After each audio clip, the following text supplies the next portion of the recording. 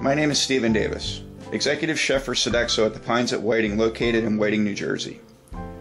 My passion in life and career all play into the topic of sustainable seafood and produce.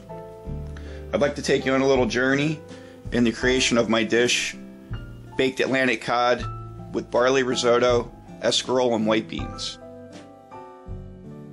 Not far from my home is the town of Barnegat Light, a small commercial fishing town on the northern tip of Long Beach Island, New Jersey. Commercial fishing has been a staple of this area since the 1600s.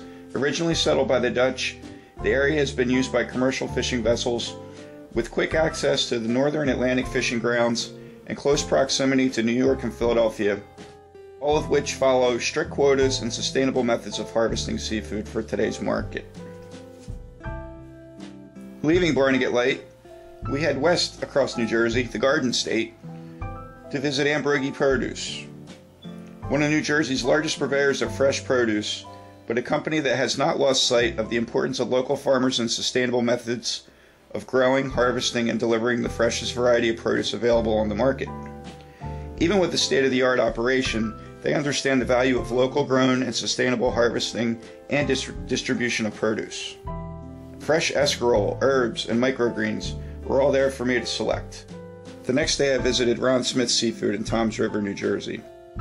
Like Ambrogi Produce, Ron Smith is an approved Sodexo vendor. I felt inspired. I wanted to return to my community and create a dish that was not only healthy and delicious and beautiful, but one that was prepared with sustainable ingredients from my home state, New Jersey.